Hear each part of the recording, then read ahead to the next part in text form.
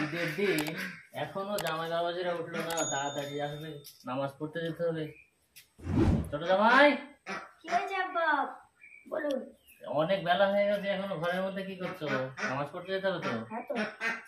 নাও।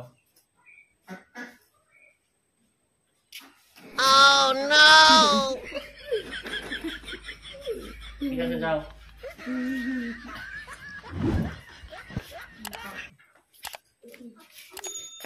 নাকি আতর দিলাম, দিয়ে ফেলল। কোন মূর্খের দল? বড় জামাইটা? কি ধরনের জামাই দেখে আমার বিয়ে, মেয়ের বিয়ে দিল জানি? মেজো জামাই, এত দেরি করছে কেন মেজো জামাই? ও মেজো জামাই।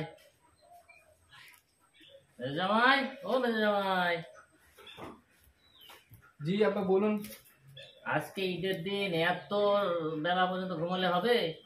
নামাজ পড়তে যেতে হবে তো? তাড়াতাড়ি রেডি হয়ে নাও নাও। হ্যাঁ তো হ্যাঁ তো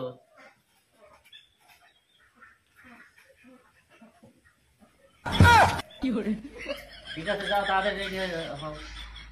বড় জামাইরা ধরে মারতে হবে হ্যাঁ? কেমন জামাই আমার খুঁজে দিল হ্যাঁ? ছোট জামাই আতর খেয়ে ফেলল আর জামাই মাথায় মারছে। বড় জামাই? জামাই ও বড় জামাই। ও বড় হ্যাঁ কি বলছেন? বাজার কি বলছেন? বাবাজি এখানে একটু বসো। আচ্ছা, আমার সাথে অনেক কথা আচ্ছা আচ্ছা। আচ্ছা বসছি।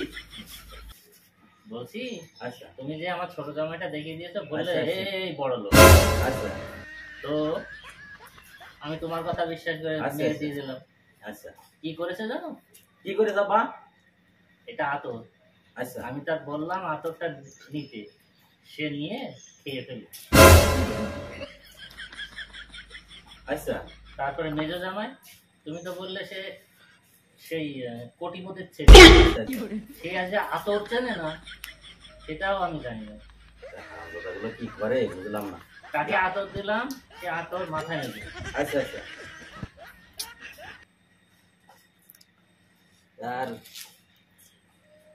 এবার বলো।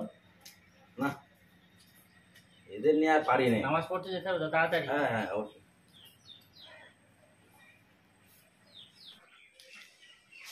না বাবা এবার তোমারটা তুমি রেডি করে দাও। আচ্ছা ওদের যে আতর দিয়েছেন ওরা আসলে জানে না। বিদেশ থেকে আতর নিয়ে আসছেন? এই যে ভাত দিয়ে এত মজার জিনিস ভাত দিয়ে আসলে ওরা জানে না বুঝতে পেরেছেন?